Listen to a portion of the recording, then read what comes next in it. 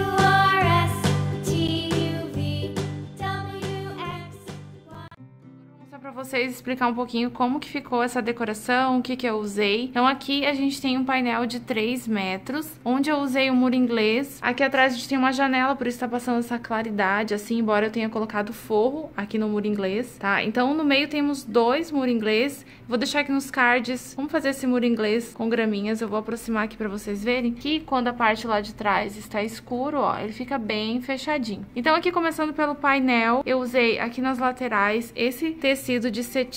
E aqui eu coloquei algumas borboletas para remeter bem essa floresta, né, da marcha do urso. E aqui assim a gente colocou alguns girassóis, né, que a gente usa bastante na decoração da marcha e do urso. Começando por aqui, ó, o destaque principal são os personagens, e esses personagens são os personagens em feltros lá da Bonecos em Feltros da Eloarte. E ó, no box de informações, o link da fanpage lá da, da Bonecos em Feltro, para você entrar em contato com ela, contato com a Cíntia, e ela passa o orçamento para vocês. Gente, eles são perfeitos, os olhos, olha isso, é lindo mesmo. vou mostrar a marcha para vocês. Olha só que linda a Masha com cabelinho de boneca, gente. Ela tá muito perfeita. Ela tem esse narizinho mais arrebitadinho aqui, ó, dando todo esse efeito real da boneca. Olha só que lindo. Vamos falar um pouquinho da mesa. A mesa é uma mesa rústica. Ela tem mais ou menos 1,65, mais ou menos, essa mesa. E aqui ela tem acho que uns 80, ela é uma mesa bem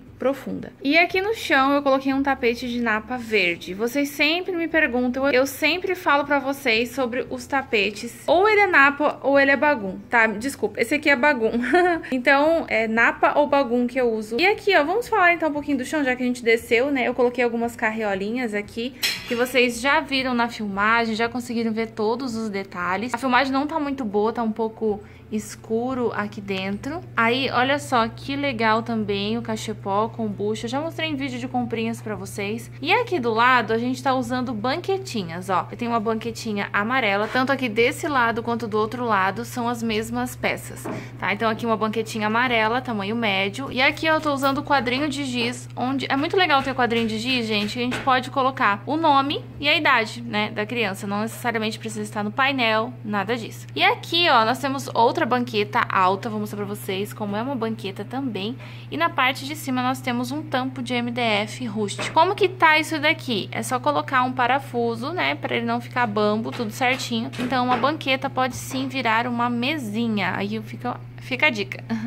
Aqui nós temos a botinha tá? Uma botinha rosa, uma galochinha, que a Masha usa, né? Uma botinha rosa. E aqui nós temos florzinhas também dentro da botinha. Gente, esse vaso aqui, ó, ele é um vaso virado, tá? São dois vasos, eles estão virados. Tá? Aí no meio é só colocar também um parafusinho para não cair. E você pode usar tanto ele solto depois, como ele assim. Então, Tá aí uma dica bem legal de fazer um vaso alto dessa forma. Aqui nós temos flores de girassol. Aqui do outro lado a gente tem a mesma coisa, a banquetinha. O que vai mudar aqui é esse bule aqui, ó, tem um bule preto. E na parte de cima também girassol. E aqui do lado nós temos a mesma coisa, aqui a gente consegue ter visão melhor do vaso, olha só. Então, estamos criando um vaso alto com dois vasos baixos. E agora, para concluir, a gente vai voltar aqui para a mesa. Essa mesa, ela é quase uma mesa espelho. Colocando a mão aqui, ó, vocês podem ver. Então, o que está centralizado aqui é o suporte de bolo, é um suporte de bolo de MDF. Deixa eu aproximar para vocês verem os detalhes, tá? Ele tem o pé todo torneado. Ele é muito lindo, esse suporte. Ele é uma peça coringa aqui do meu acervo. Na parte de baixo, para dar um destaque, também uma mini elevação. Eu coloquei um tampo de caixa, caixa de MDF, tá, gente? encapado com tecido e deu uma elevaçãozinha e também um destaque aqui, ó, no suporte de bolo. Logo do, nas laterais nós colocamos alguns arranjos de flores, só que esses arranjos, vocês podem ver que ele tem altura diferente, porque eu não queria elevar ele aqui também pra gente poder destacar também a macha, mas ele ficou mais abaixo, então nós temos aqui esse arranjo alto, a macha, a árvore alta e o urso alto, tá vendo, ó? dois cantos altos, a macha e o arranjo. E esse daqui ficou a mais ali na lateral. Esse, essa árvore linda aqui, ela também é de feltro, fui eu mesma quem fiz. Gente, desde o início do Empório, então ela já tem uns 5 anos, eu uso para vários temas. Então tá aí você ter algo que você sempre vai usar para muitos temas diferentes, é uma árvore em feltro, tá? Fica a dica. Outra coisa que eu usei foi esse prato aqui redondo. A gente tá usando muito prato redondo, assim, também, baixo. E também nós temos aqui um prato oval rosa. Temos um prato alto, mas não tão alto quanto esse, tá vendo? Que nós estamos... É, que a gente tá trabalhando aqui a altura, né? Então, nós temos aqui um prato.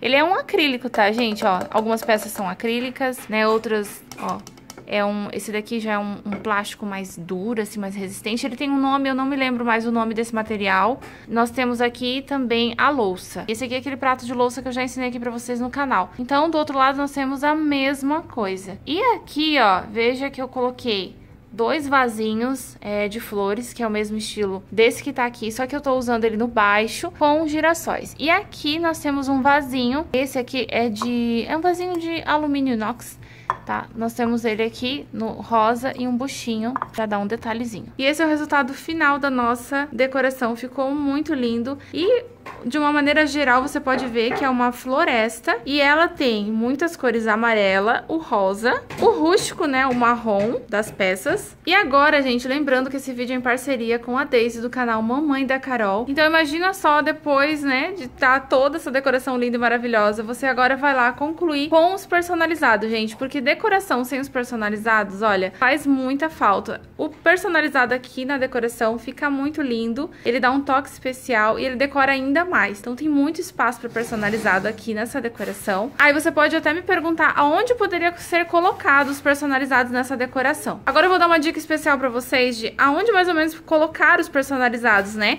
Você chega lá, a decoração tá pronta, você colocou os pratos, tudo isso. Então como que você vai estar tá fazendo?